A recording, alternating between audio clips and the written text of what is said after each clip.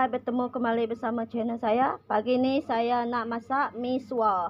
Pucau mi sua. Ha, ini mi dari Sarawak yang adik saya kirim kirim hari tu. Ha, saya ada masak tiga. Ini mi nya ada perencah dia sendiri. Ha, saya mau cuba masak ni. Ha, kecil dia.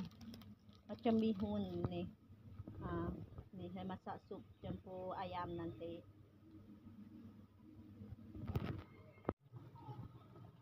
Ha, ni ayam sudah mendidih. Ini saya nanti nak campur dia dengan mi sua. Ha. Biar dia ada biar dia ada rasa ayam. So kita masak ayam lah. Ha.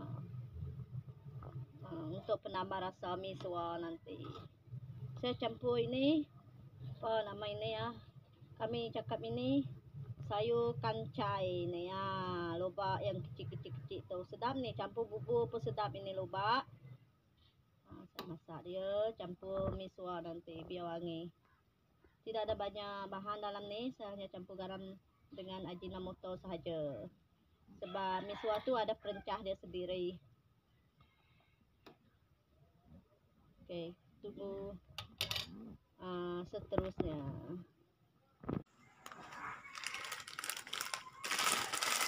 Uh, kita buka mie ni. Kita simpan dia dalam mangkuk. Untuk memudahkan kerja kita nanti. Ambil dia punya perencah. Kita masukkan mie. Ni dalam mangkuk.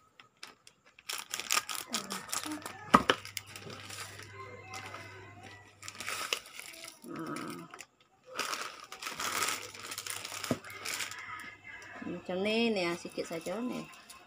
Tiga saja. Masukkan kita punya perencah tadi. Masukkan satu persatu. Masukkan habis. Perencah dia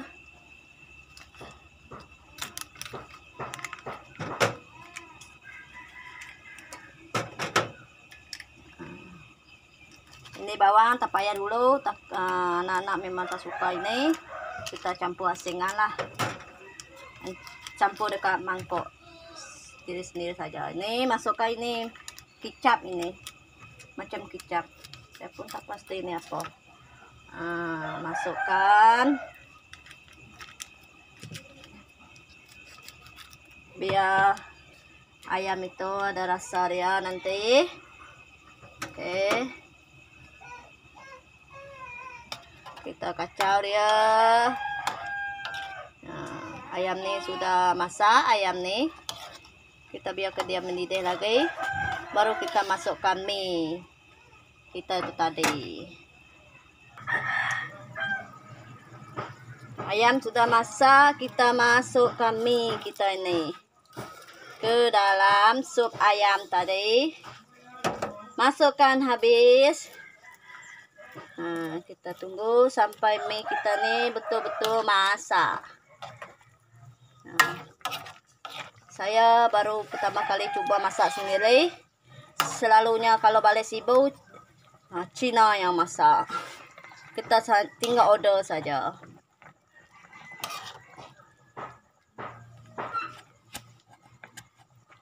Kalau ada kekurangan ke kelebihan ke boleh komen dekat bawah boleh komen siapa yang pernah makan mie ini masak sendiri. Ha, boleh komen. Ha. sudah ha, tengok mie ini sudah mau masak. Oh wangi dia mie nya mie suar ni memang wangi lah. Wow. Memang cukup-cukup rasa tidak ada yang kekurangan. Nah, kita tunggu dia masak saja. Nanti kita tengok macam mana hasilnya. Oke, mie kita ni sudah masak. Nah, kita padamkan api. Oke, kita hidang dia. Ini untuk anak kakak yang mau, kakak mau ke dumpster, kita bagi dia tik. Kita bagi dia mini. Hmm.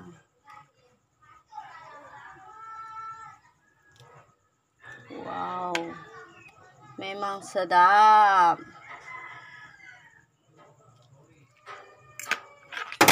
Oh, lapuang.